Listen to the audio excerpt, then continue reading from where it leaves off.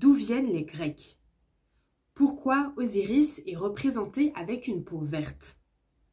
Quel prophète a d'étranges similitudes avec une divinité égyptienne? On découvre tout ça dans un livre écrit il y a 2000 ans.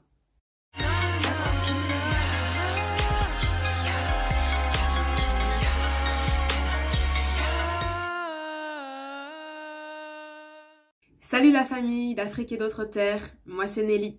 Bienvenue sur Afrochronique KSF. Ici, on promeut l'éveil des Africains et des Afrodescendants pour comprendre notre passé, agir dans le présent et construire notre futur.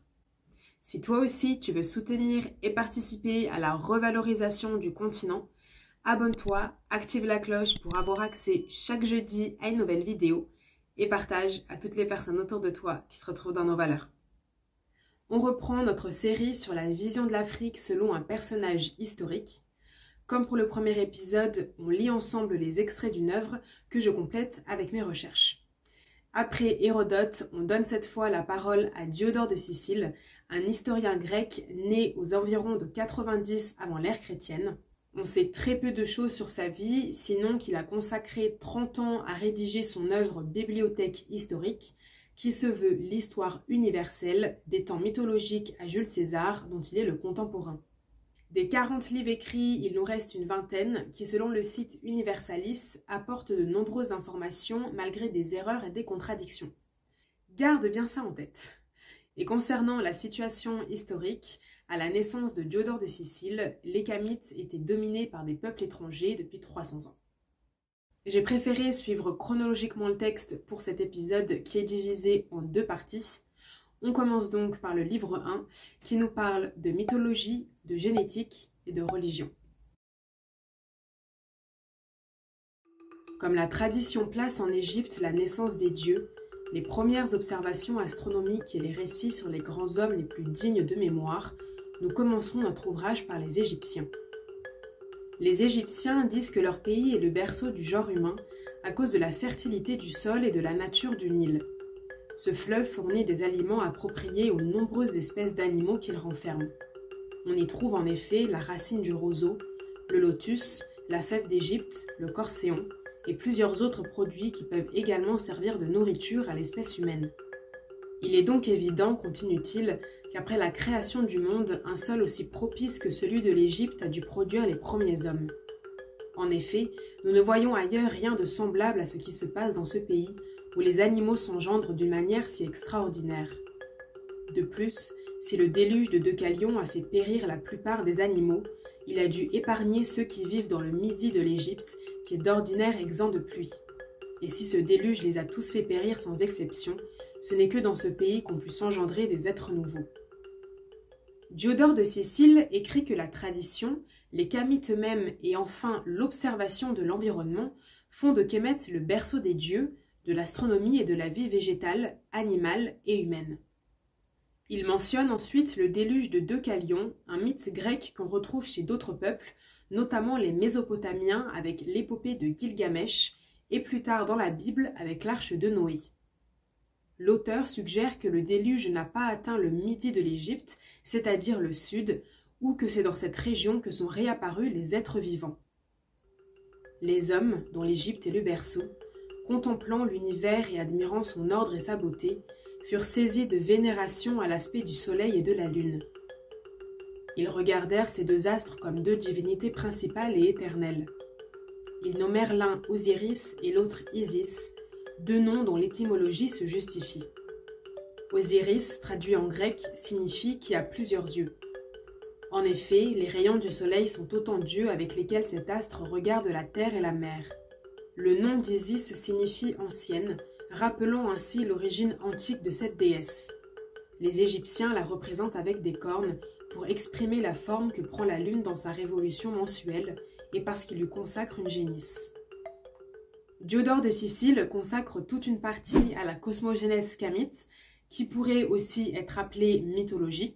On va voir ensemble quelques extraits qui m'ont paru intéressants, mais honnêtement, pour cette partie, euh, déjà plusieurs points sont faux et sont contredits euh, non seulement par les spécialistes, mais aussi par les textes kamites eux-mêmes. Si tu t'y connais déjà un petit peu, tu as dû remarquer que ce qu'il dit d'Osiris et Isis est pas complètement juste. On va revenir là-dessus juste après.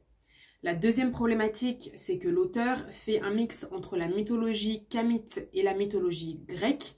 Donc, dans la même phrase, tu te retrouves avec Osiris, Isis, Hermès et Hercule. Ce qui amène à la troisième problématique qui est valable pour l'ensemble des textes grecs, c'est cette manie de vouloir toujours tout renommer. tu me diras, c'est pas les seuls à le faire. Mais tout ça additionné crée un texte parfois très confus à certains moments. Par exemple, ce qui est appelé Jupiter désigne en fait Amon-Ra, donc le créateur, sauf que dans la mythologie gréco-romaine, Jupiter, Zeus, n'est pas le créateur de l'univers, il est même le dernier fils de Chronos.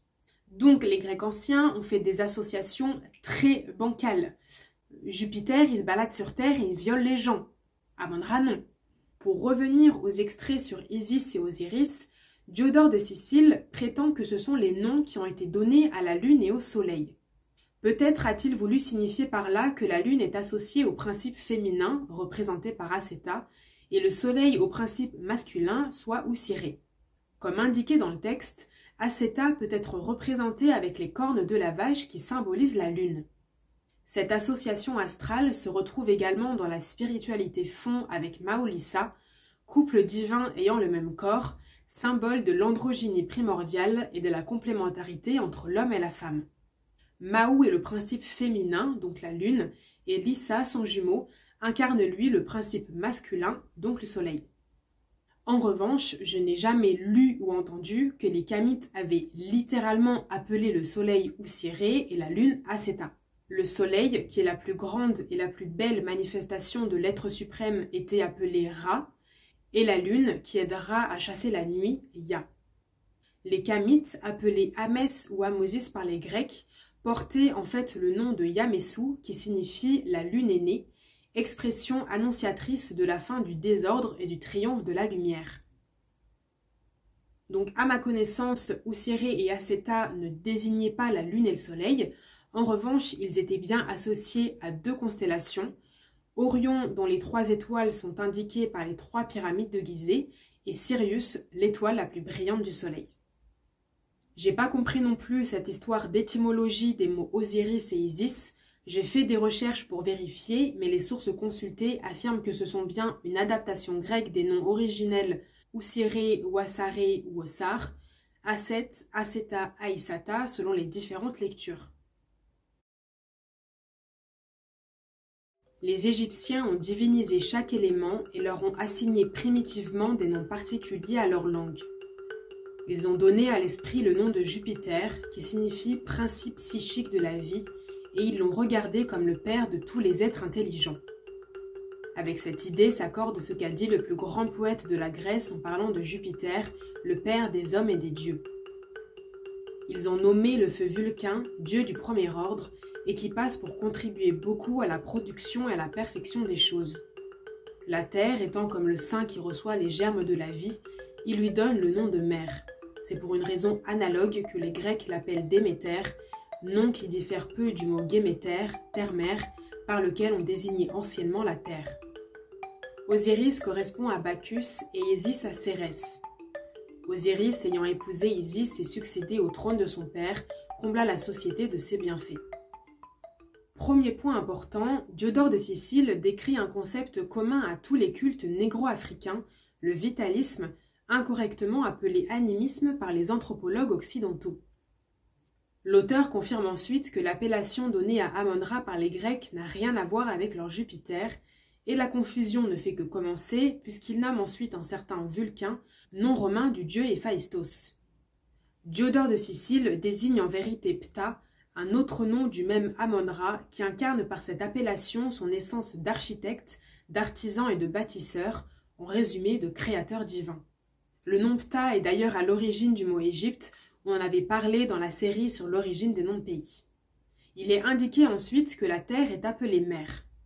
Alors c'est une constante pour la majorité des peuples africains, sauf pour Kemet, en tout cas à l'origine. Pour reprendre l'explication de Diodore de Sicile, la terre symbolise la mère qui porte la vie et le ciel est le père qui semence par la pluie. Je te fais pas de dessin. Or, à Kemet, c'est l'inverse. Nout, principe féminin, est le ciel, et Geb, son mari, est la terre. Pourquoi cette différence? Tout simplement parce qu'à Kemet, l'eau qui nourrit les champs ne provient pas principalement du ciel, mais bien des crues du Nil. Donc, on a une nouvelle contradiction entre Diodore de Sicile et les textes kamites. Est-ce qu'il y a eu des changements au cours du temps? Est-ce que c'est dû aux invasions? Est-ce que ces informateurs maîtrisaient vraiment le sujet?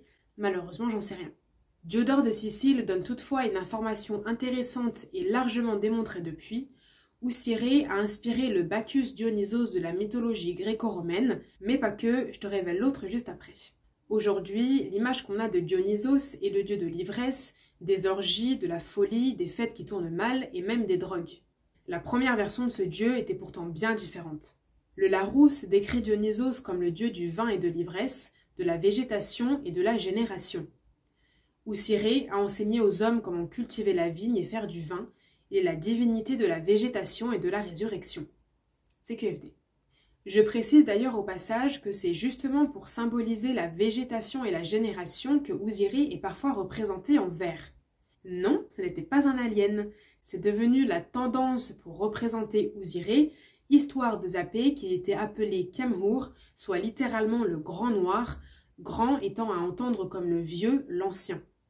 Le noir était considéré comme la couleur de l'être suprême et des divinités, mais aussi de la fertilité, de la potentialité et de la connaissance ultime, le noir étant la seule couleur capable d'absorber la quasi-totalité de la lumière, donc des rayons du soleil. Si tu veux en savoir plus sur le lien très étroit entre Oussieré, Dionysos et Roland tambour Jésus, je te conseille vivement de lire le tome 3 de Cosmogenes Kamit de Nusire Kalala Omotunde. Il nous explique notamment une épreuve initiatique Kamit qui rappelle étrangement la mort sur la croix. Je te propose de lire quelques extraits. Ainsi, dans nos mystères initiatiques Kamit ancestraux rattachés au culte d'Oussiré, d'Aceta et des roues, il existait une épreuve particulière réservée uniquement à ceux qui étaient parvenus au sommet de leur parcours d'initié. Alors le candidat sera lié sur la croix de bois. Il mourra symboliquement, il sera enterré et descendu dans le monde inférieur. Après le troisième jour, il sera ramené de parmi les morts et sera emporté au ciel pour être la main droite de celui de qui il vient, ayant appris à guider les vivants et les morts. Dans les temples égyptiens, la salle de l'initiation était souvent souterraine, ceci probablement afin de pouvoir plus facilement en tenir la position secrète, mais il se peut aussi que cet arrangement ait été destiné à représenter une partie du symbolisme de la descente dans la matière qui jouait un rôle si important dans tous les anciens mystères. Il se peut qu'il y eût une salle semblable dans la grande pyramide ou dessous. C'est dans cette salle qu'avaient lieu les cérémonies entrant dans l'initiation considérée nous arrivons au moment intéressant où le candidat se couchait volontairement sur une immense croix en bois qui était creusée de façon à recevoir et à soutenir la forme humaine. Le candidat quittait le corps physique et pendant ce temps fonctionnait entièrement dans le corps astral.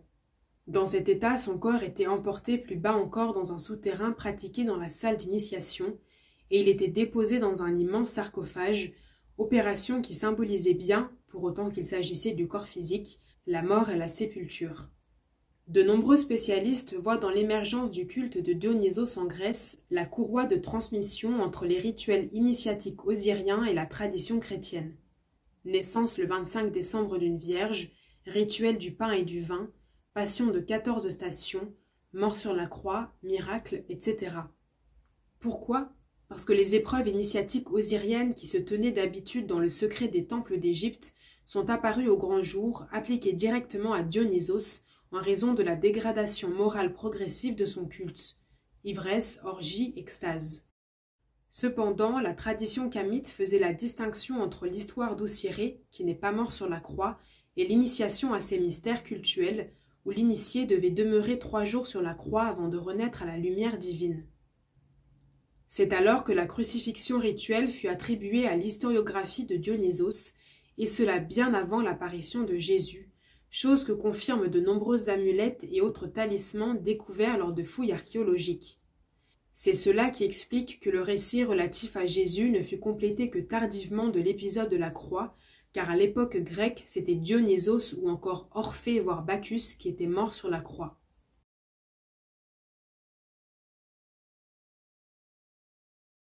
Selon les Égyptiens, Isis a inventé beaucoup de remèdes utiles à la santé. Elle possède une grande expérience de la science médicale. Et devenue immortelle, elle se plie à guérir les malades. Elle se manifeste à eux sous sa forme naturelle et apporte en songe des secours à ceux qui l'implorent. Enfin, elle se montre comme un être bienfaisant à ceux qui l'invoquent.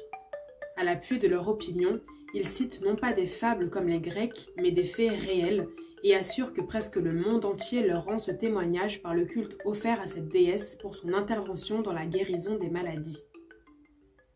Cet extrait devrait te rappeler la série publiée sur le matriarcat. On avait vu que les premières sociétés africaines sont apparues et ont prospéré grâce à la découverte de l'agriculture qui a permis la sédentarisation. Et tous les mythes africains attribuent cette découverte aux femmes qui ont donc maîtrisé en premier l'usage des plantes pour se nourrir et se soigner. Par le mythe d'Isis, Diodore de Sicile confirme que les premiers médecins étaient donc des femmes. On continue sur la société camite. Contrairement à l'usage reçu chez les autres nations, les lois permettent aux Égyptiens d'épouser leurs sœurs, à l'exemple d'Osiris et d'Isis. Celle-ci, en effet, ayant cohabité avec son frère Osiris, jura après la mort de son époux de ne jamais souffrir l'approche d'un autre homme, poursuivit le meurtrier, régna selon les lois et combla les hommes des plus grands biens. Tout cela explique pourquoi la reine reçoit plus de puissance et de respect que le roi, et pourquoi chez les particuliers l'homme appartient à la femme selon les termes du contrat dotal, et qu'il est stipulé entre les mariés que l'homme obéira à la femme. Si tu veux vraiment savoir pourquoi à Kemet le roi pouvait épouser sa sœur et pourquoi la reine avait en fait plus d'importance que le roi, une nouvelle fois, je te renvoie à la série sur le matriarcat, je te mettrai le lien à la fin de cette vidéo. Je voulais surtout revenir sur la phrase qui prétend que l'homme appartiendrait à la femme. J'ai une hypothèse pour expliquer cette affirmation fausse, c'est l'écart énorme entre la mentalité grecque indo-européenne et la mentalité kamite négro-africaine. Je rappelle que, contrairement à ce qu'on pourrait penser, le matriarcat noir n'est pas l'exact opposé du patriarcat, qui est beaucoup plus extrême. Dans le patriarcat primitif, la femme n'a aucun statut, elle est considérée comme un enfant et dépend d'un père, d'un frère ou d'un mari qui ont tous les droits sur elle, y compris de vie et de mort. Donc quand tu es un homme né dans une société profondément misogyne et donc forcément que tu l'es toi-même, voir que c'est un homme qui apporte la dot, que la femme est propriétaire de la maison ou encore que aucune décision ne peut être prise sans l'accord des femmes, je pense que tu es sous le choc en fait. Donc évidemment que dans un regard de misogyne patriarcale, l'homme à Kemet paraît soumis. Encore une fois, c'est juste une question de paradigme. Selon leur histoire, les Égyptiens ont disséminé un grand nombre de colonies sur tout le continent. Bélus, que l'on dit fils de Neptune et de Libya, conduisit des colons à Babylone. Établi sur les rives de l'Euphrate, il institua des prêtres qui étaient, comme ceux d'Égypte, exempts d'impôts et de toute charge publique. Les Babyloniens les appellent Chaldéens. Ils s'occupent de l'observation des astres à l'imitation des prêtres et physiciens de l'Égypte. Ils sont aussi astrologues. Danaüs partit également de l'Égypte avec une colonie et fonda la plus ancienne des villes grecques, Argos. Les Colchidiens du Pont et les Juifs, placés entre l'Arabie et la Syrie, descendent aussi de colons égyptiens. C'est ce qui explique l'usage qui existe depuis longtemps chez ces peuples de circoncire les enfants. Cet usage est importé de l'Égypte. Les Égyptiens prétendent que les Athéniens eux-mêmes descendent d'une colonie de Saïs et ils essaient de démontrer ainsi cette opinion. Les Athéniens, disent-ils, sont les seuls Grecs qui appellent leur ville Asti, nom emprunté à l'Asti d'Égypte. Diodore de Sicile écrit que les Chaldéens, les Grecs, les Colchidiens, les Juifs et les Athéniens sont des descendants de colons camites. La mention des Chaldéens est particulièrement intéressante puisque Diodore de Sicile les décrit plus tard comme les plus anciens des Babyloniens. Le Larousse définit la Chaldée comme étant notamment le pays de Sumer. Ces précisions sont très importantes puisque l'eurocentrisme veut faire de la Mésopotamie, et plus particulièrement de Sumer, le berceau des sciences, de l'agriculture ou encore de l'écriture. Or, le texte explique que des prêtres kamites se sont installés dans ce qui sera appelé la Chaldée, c'est-à-dire en pleine Mésopotamie. Comme il est précisé après, l'appellation de prêtre dans le contexte de Kemet désigne en fait des savants qui étudient l'astronomie, la physique ou encore les maths. Danaus est un personnage de la mythologie grecque, né en Haute-Égypte et roi de Libye ou d'Égypte selon les versions. Selon Diodore de Sicile, c'est ce Danaus qui a fondé la première ville grecque. Ce mythe a été confirmé par une étude réalisée en 2000 par des généticiens espagnols et macédoniens. Je te mets en barre d'infos l'article scientifique en anglais et un résumé en français d'Africa Maat. L'étude a comparé l'ADN des Grecs avec trois autres groupes de population européens, sémitiques et subsahariens. Deux groupes partagent une plus longue séquence d'ADN commun, les Grecs et les Africains, particulièrement de l'actuelle Éthiopie, mais aussi de l'Afrique de l'Ouest. J'ai essayé de traduire au mieux le résumé de l'article. Les Grecs n'appartiennent pas au plus vieux substrat méditerranéen. Il s'est avéré que les Grecs ont une parenté conséquente avec le peuple subsaharien, éthiopien, ce qui les sépare des autres groupes méditerranéens. Les distances génétiques sont plus proches entre les groupes grecs et éthiopiens subsahariens qu'avec n'importe quel autre groupe méditerranéen. Et enfin, les Grecs se regroupent avec les Éthiopiens subsahariens en joignant les dendrogrammes et les analyses correspondantes. L'époque durant laquelle ces relations auraient pu se produire était ancienne mais incertaine et pourrait être liée au déplacement du peuple égyptien-éthiopien vivant dans l'Égypte pharaonique. On a déjà parlé des Colchidiens dans la vidéo sur Hérodote, Concernant les Juifs, la thèse avancée par Diodore de Sicile ne va pas du tout dans le sens de l'Exode raconté dans l'Ancien Testament, qui précise d'ailleurs que le peuple hébreu était 70 en arrivant à Kémet sans compter les femmes et les enfants, et qu'ils auraient été plus de 600 000 quand ils en sont sortis. Tout ceci en 430 ans. C'est déjà fini pour cette première partie de l'Afrique selon Diodore de Sicile. J'espère que ça t'a plu. La semaine prochaine, on découvre les devoirs du pharaon, une autre falsification de l'histoire, ou encore une coutume très spéciale appliquée à Kemet et dans les empires d'Afrique subsaharienne. En attendant, dis-moi en commentaire l'extrait qui t'a le plus marqué. J'ai hâte de te lire. À tout de suite.